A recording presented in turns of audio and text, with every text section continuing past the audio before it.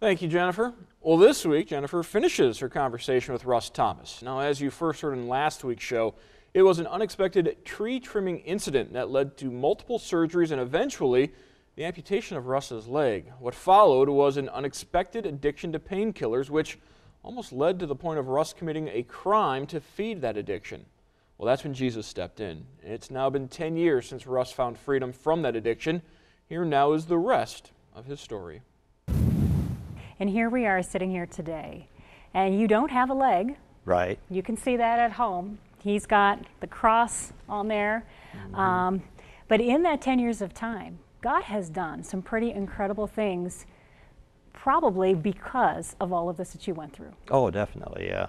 Uh, the, the, the biggest thing that He's been able to get me to do is submit to Him. That's the mm -hmm. most difficult part of this whole process. And, but through that submission, is where the strength comes from. That's what's amazing is um, when I when I minister to folks now, I use the same recipe that he taught me.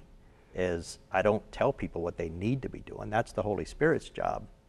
What I do is, is, is convince them to draw nearer to Him through His Word, through prayer, through study, through community with other believers, and His Spirit will convict you on what needs to be removed from your life. Mm.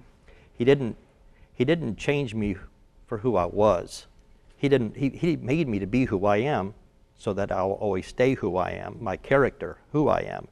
But what he did was he just basically transformed me into what he wants me to be by removing the things that he doesn't want and then um, the things that he wanted me to keep, he just enhanced. My pastor was Neil Whitney, and he described it like this to me one day, and I finally got it, and I still use this today to, to minister to other men. He said, before you were in Christ, you were a stallion, running around doing whatever and whoever you wanted to do. And he said, through that process of transformation, he still wants you to be that stallion. But now you have a bit in your mouth and the reins are being controlled mm. by the master. That was so powerful that I got that from him. And um, God doesn't want to change who you are, He just wants to transform your life to be more about the kingdom agenda than what we were before. I'm still who I've always been, but it's just I have a different mission now. Well, speaking of that mission, Russ, I'm sure you would say this isn't about you at all, but mm. it it's amazing to me to see how God has restored so much, and He's now using you, in essence, to minister to people who were probably or are once were or are in that situation you were in. You are the pastor of the Gathering Place, and you are working for Job and Family Services, helping people get back on their feet, get into jobs. Um, God is using you in just incredible ways. Well, once again, the magical number three plays into this because um, I left my previous employer and it was three months. Once again, the number three. Um, Mike Shanehofer, um, I've been friends with Mike through Celebrate Recovery. And there was a position open at Coleman. And Coleman is incredible because one of the requirements of this position was that you were a reformed, recovered addict. Hmm. They're just great at doing this because what Coleman understands is, is they'll take what you consider trials, they look at as training. And if, if you've had a certain period of recovery, they know that you'll use that. And that's how God uses it too. I look now back at that worst night of my life was training because now I fall back on that every time I start to work with another addict. I fall back on that and know the torture that I was going through. So I consider that training now, the amputation. Um, I'm a peer counselor with CAST Ministries. CAST stands for Christian Amputee Support Team. And what we do is we peer counsel people, but it's, it's through Christ. We peer, peer, peer counsel folks to uh, know that if they're going to lose a limb or have lost a limb, that your life's not over. Philippians 4.13, I can do all things through Christ Woody Thornton is the head of this out of Alabama. He's missing both legs below the knee, and he's got an incredible testimony. But through the peer counseling, um, through my own ministry, ministering to folks with addiction, job and family services, um, I'm, I'm a work experience liaison person there.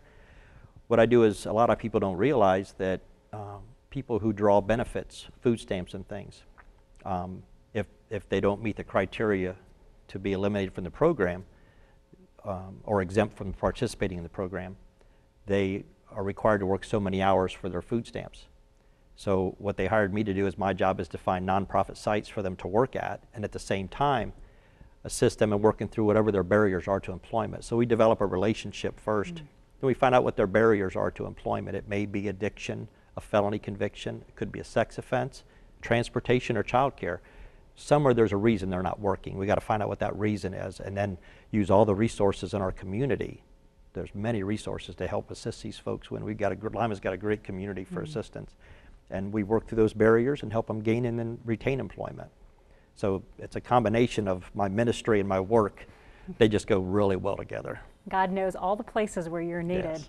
And then finally, you do have this church called the Gathering Place. If we have viewers at home that are saying, This is me, or my family member is, is affected by the same type of story that we heard from you, Russ, um, and they want to find you and talk to you, is this, a, is this a place where they can go yeah, to find you? Um, our focus, our focus at the gathering place, is strength through trials.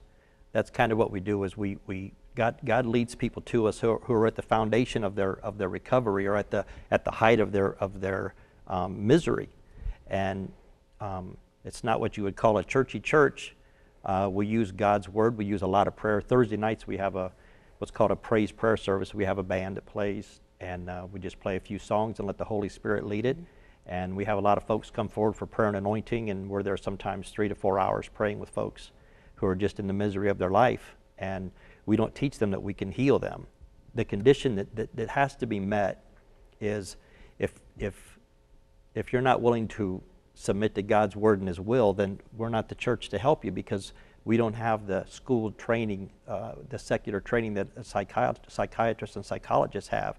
And there's many um, spiritual psychologists that, that out there that, that could help you, but we're not geared that way. We're geared through trials, and if you're if you're ready to seek Christ and His Word, then then we can assist you. If not, we're going to refer you to someone who actually has that background in schooling because we don't. We're we're about experience. We're about leading you to the foot of the cross. We know the path there, but other than that, I can't fix you.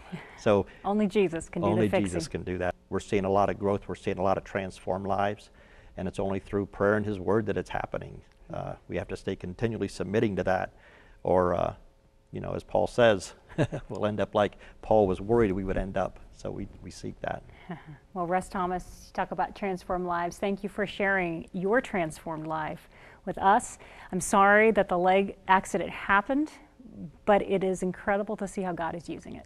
Yeah, um, I never used to run until this happened, and I, I believe that um, one of the reasons that I like to run, I don't run as much as I used to, but I ran a lot of 5Ks, and I've got one of those blade feet to run with, and and um, to me, um, this this happened. It's straight from the enemy. I don't blame God for this. I, I, I give God credit for where it's come from, but um, when I run, it's it's my way and God's way of shoving it in Satan's face, and that's what I do when I run. I have that mentality of uh, this is for you, God, and I'm taking it away from Him.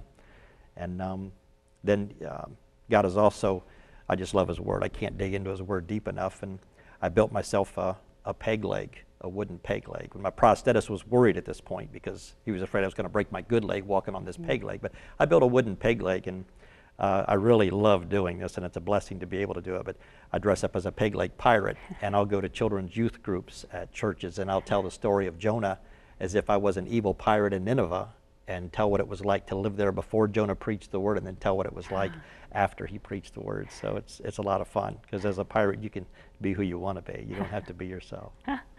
What a great amount of stories and what an incredible testimony. Russ Thomas, thank you so much for sharing. Thanks for having me. Appreciate uh, the restoration story of what God has done and God is still doing in your life and all of the lives around you. Amen. For more information about Russ's church, that is again called the Gathering Place, the address is right there on the screen. You are more than welcome to join them for a service Sunday morning or that Thursday evening prayer service.